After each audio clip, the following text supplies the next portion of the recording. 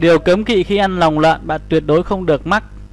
Không thể phủ nhận rằng nội tạng động vật rất giàu chất dinh dưỡng và mê hoặc người yêu ẩm thực, nhưng đồng thời chúng cũng tiềm ẩn những nguy cơ cho sức khỏe. Nội tạng động vật thông thường chúng ta hay ăn nội tạng của lợn còn gọi chung là lòng lợn. là loại món ăn được yêu thích mặc kệ những nguy cơ mà nó mang lại. Không thể phủ nhận rằng món ăn này rất giàu chất dinh dưỡng và mê hoặc người yêu ẩm thực nhưng không thể đồng thời chúng cũng tiềm ẩn nhiều nguy cơ cho sức khỏe. Bạn vẫn có thể thường ăn thưởng thức món ăn này nếu hiểu biết của bạn về nó đủ để hạn chế những tác hại mà nó có thể gây ra. Dưới đây là những điều cấm kỵ tuyệt đối nên tránh để ăn món nội tạng của bạn được an toàn và hấp dẫn. 1. Không được ăn nội tạng không rõ nguồn gốc. Theo các cơ quan chức năng, hiện nay trên thị trường đã tồn tại tình trạng thương lái nhập lậu nội tạng động vật không rõ nguồn gốc, thậm chí bị ôi, thiêu rồi giao cho các cửa hàng chế biến hay các điểm bán lẻ nội tạng. Cơ quan chức năng đã phát hiện và bắt giữ nhiều lần hàng nội tạng động vật đã bốc mùi thối được nhập từ Trung Quốc về, sau đó tẩy rửa bằng hóa chất rồi đem ra bán thị trường. Loại nội tạng này tiềm ẩn rất nhiều nguy cơ cho sức khỏe. Vì vậy, khi ăn nội tạng, bạn cần phải biết rõ nguồn gốc của loại thực phẩm mình ăn, tránh mua hoặc ăn nhầm loại thực phẩm đáng sợ nêu trên. Thứ hai, không được ăn nội tạng, không được chế biến kỹ.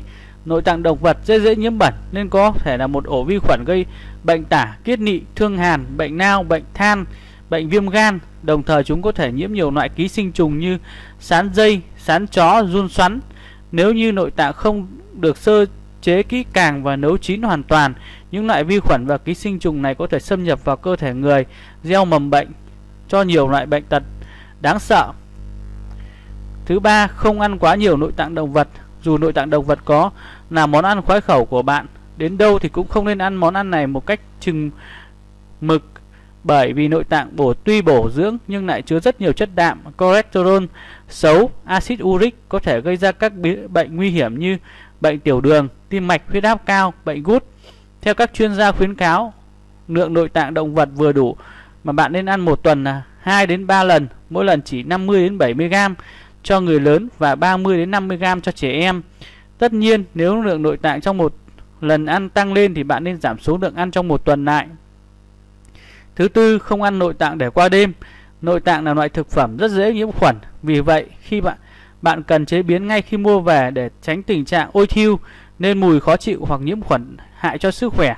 Nên dùng chanh giấm muối hạt làm sạch cho các loại nội tạng như ruột non, dạ dày để chúng được thơm ngon. Còn với những bộ phận khác như tim gan, bầu dục nên cắt bỏ phần hôi, nặn hết máu đông, trần qua nước sôi trước khi sử dụng. Ngay cả khi nấu chín và không sử dụng hết, lượng nội tạng thừa cũng nên bỏ đi, không nên ăn nội tạng sau khi đã để qua đêm vì chúng rất dễ nhiễm khuẩn trở lại và gây ngộ độc cho bạn.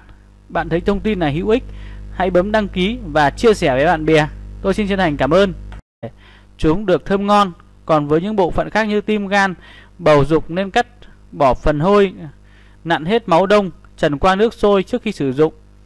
Ngay cả khi nấu chín và không sử dụng hết, lượng nội tạng thừa cũng nên bỏ đi, không nên ăn nội tạng sau khi đã để qua đêm vì chúng rất dễ nhiễm khuẩn trở lại và gây ngộ độc cho bạn. Bạn thấy thông tin này hữu ích, hãy bấm đăng ký và chia sẻ với bạn bè. Tôi xin chân thành cảm ơn. Ký và chia sẻ với bạn bè. Tôi xin chân thành cảm ơn.